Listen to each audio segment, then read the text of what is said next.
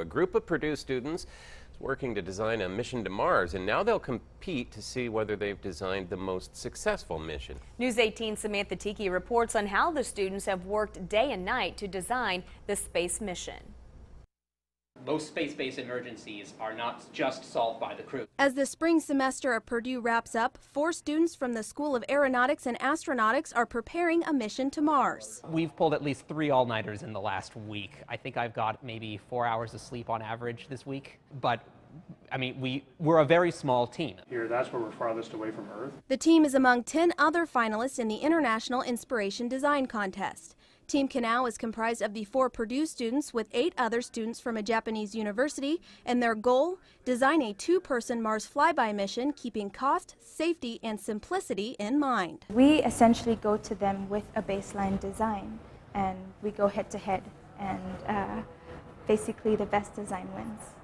But designing a mission to Mars is more than just using equations. It's about taking knowledge from that data and using it to design a vehicle that will make it the 150 million miles to Mars and back. And they're going to evaluate us all based on the requirements that they gave us. Uh, based on the concept that they find the most feasible, the most cost effective, the safest. They will decide, presumably, which of us uh, is um, most fit to move on to the next round. To the next round. Worst possible installation. Students must lead, organize, and execute the design study, then present their results to national groups, including NASA Ames. But win or lose, it's all about representing Purdue's heritage. So this team has, in my opinion, put together a lot of different concepts from the various classes that they've had here at Purdue. So they really have all these pieces together that uh, I, I, don't feel that other teams may necessarily have. No matter what happens with the competition, I think that's a vindication that Purdue is doing something right and teaching us exactly what we need to know. The competition will take place later this month with the winning team receiving $10,000 and an all-expense paid trip to the 2014 International Mars Society Convention.